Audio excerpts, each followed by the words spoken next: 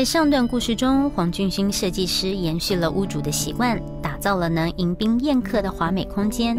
现在，让我们看看在私领域，设计师又有什么贴心的设计。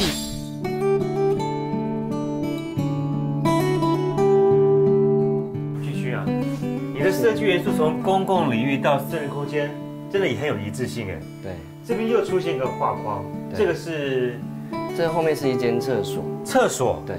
可是它的门像面镜子一样，对，因为它这边其实是有它的衣柜的一个空间，嗯，那我想要利用这个厕所的门片当做一个穿衣镜的使用，哎，真的多功能啊！这个房间是谁使用呢？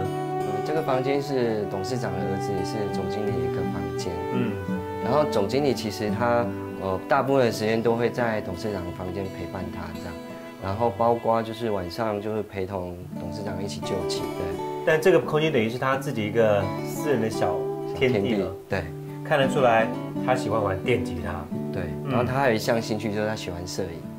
喜欢摄影的人通常会把他最棒的相机放在最显眼的地方。怎么看不到嘞？电吉他都看到了，照相机呢？他的相机我是做一个特别的展示柜，去展示他的所有的一个相机。跟它的设备，所以你是告诉我，这个就基本上是摄影机的防潮柜了。对，我们把传统那个比较黑色一个箱子的小冰箱啊，对，把它的功能整个移植到这整个大柜体里面。所以这整个柜子就是照相机的防潮柜了。没错，哇，砍入整个设计当中了。对，这是我们特别为它量身打造的。对，你不要告诉我对面那个柜子也是如此。那因为。总经理他很喜欢弹吉他嘛，所以我帮他把他心爱的吉他做一个展示的动作。你这样完全看不出来，就是有一个放吉他的地方所以你说这个柜子跟刚才的照相机柜一样，对，是展示间厨师吗？对。然后他这一个是那个总经理他一个电吉他的展示柜，你连展示架都帮他放好了。对。那因为总经理他有一些比较特殊也比较名贵的一些吉他。然后他觉得他很酷，所以就把它展示在这个空间。而且这光源来讲，晚上要睡觉之前，基本上灯不用开太多，光开个柜子里面小灯就可以了。对，它是一个很很有气氛的一个柜子。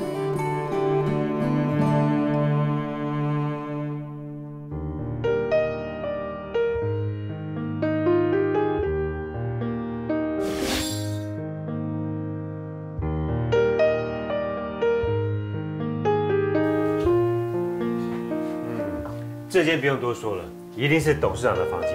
没错，这一够超大。对，它光这平数多少啊？看起来像一般人的客厅了。嗯，这大概有十几平。十几平？对。所以这么大，做一个卧室使用，你刚刚一开始帮规划的时候，有想到怎么样的配置吗？呃，在这个空间方面呢，就是有一个睡眠的卧铺区，然后还有更衣室，嗯，然后另外就是它有一个起居的沙发区。五点元素同样带到房间里面，因为在你的卧铺床旁边两侧也都是对称的。对，这应该就是收纳空间喽。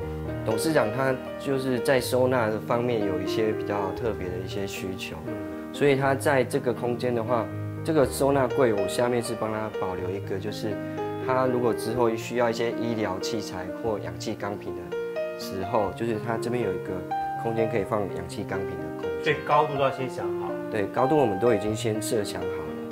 然后上面就是做其他一个收纳的功能，嗯，所以另外旁边也是同样的使用吧？对，那旁边这边我们是就董事长他一个生活习惯，然后帮他再去规划这边的柜子啊，所以你必须要先跟他聊过天，多聊一下他平常喜欢把衣服放在什么地方啦，几点钟在什么地方，然后再帮他想动线该怎么样会比较完美。对，像这个柜子啊，就是我们考量到董事长他每天起床，嗯。他可能需要添件外套，或者睡觉前可能哦一些睡衣，对，要挂的地方。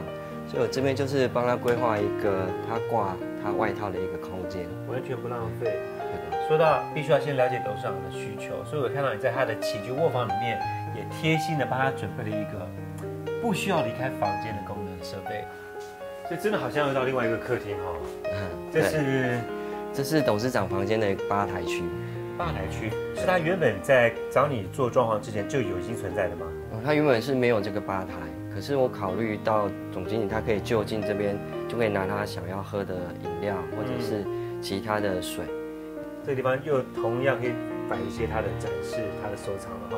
对。这个也都是收纳的功能嘛，对不对？那像下面这个抽屉啊，我们是设计一个比较大尺寸的一个抽屉。那因为董事长也有一些朋友送给他的一些卷轴跟挂画，对，嗯，那他就是可以收纳在这个空间里面。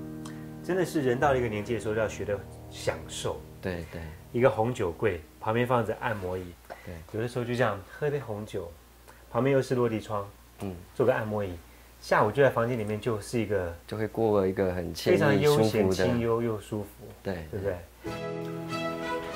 噔噔噔噔，这是个连女生看到都会嫉妒的更衣间啊，没错，好大！走进来真的是已经到了贵妇名媛等级的更衣间了。嗯，你看这个是全部全部它放配件的地方，对，领带啊、表啊、皮带之类的。这个男生的个更衣间第一次看到有专门放帽子，对，因为董事长他就是喜欢戴帽子，嗯，有一些皮毛的、啊、毛草的帽子，这个是董事长的收藏吗？还是他真的会戴的？他真的会戴的，董事长八十多岁戴这帽子很有型哎，对，哇所以这整个都是一个个防潮柜，真的宝贝要这样珍惜哦。真的。我们在浴缸的做法上，我们是以一个柚木的实木去做整个浴缸的包覆。在设备上，我们就是规划了一个牛奶浴的设备，帮它毛细孔去做一个按摩，然后清除一些呃本身的污垢，然后再加上能够达到一个放松休闲的一个感觉。迎宾空间端景柜后的茶镜和天花镜面镀钛板油边雕花框画成 L 型迎宾拱门，再借以长条镜衔接天花，层叠间接光和水晶灯闪耀，表现非凡气宇。客厅以蔚蓝光闪烁的奥罗拉蓝延伸为电视主墙，两侧金箔罗马柱，左右已设置隐藏电器柜。沙发背墙以浅色别致纹理的壁布绘出东方格栅的意象。开放式书房以梁为界，以柱混得隐藏书柜，收整地面，让心能舒坦依靠。黑块木贴皮展柜与量身定制能轻松展示照片的书桌，为空间带出人文贴心氛围。餐厨空间外圈圆形裙摆延伸金缕圆顶天花，承载定制的水晶吊灯，璀璨映射金箔上，幻化迷离凡尔赛氛围。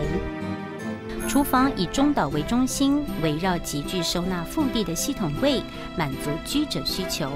次主卧以银色绷布为主墙，左右侧打造符合收藏兴趣的防潮收纳箱，同时拥有低调的展示功能。主卧床头奢华壁纸展现气势，左右伫立收纳柜分别收藏氧气钢瓶与室内外衣。衣帽收纳加入干燥功能，为卫生健康把关注入贴心暖意，同时不打扰英法主人的生活与动线直觉习惯，打造别具风范的华丽新貌。那这个案子让我觉得最开心的就是，呃，我们获得就是董事长跟总经理比较充分的信任，然后让我们能够放心大胆的去做我们想要做的一些设计。我希望就是能够透过总经理他这份孝心，然后能够传递就是我们希望能为董事长呈现一个比较精致大气，然后跟舒适的一个生活起居的环境。在这一集故事中，我们看到了屋主父子的感情，也看到了黄俊勋设计师如何延续屋主的生活习惯，让空间更符合屋主的需求。从自己的生活习惯与嗜好出发，辅以喜欢的材质与风格设计，不论性别与年龄，都可以拥有属于自己的适龄豪宅。想看更多黄俊兴设计师的精彩设计，请上网搜寻设计家。这个书房呢，我们用的材质是很多的。那除了我们有一个大的背景墙，就是我们的空心砖墙之外，我们的那个木柜呢，我们就是结合铁件，好做虚实的一个交错，一个比例搭配。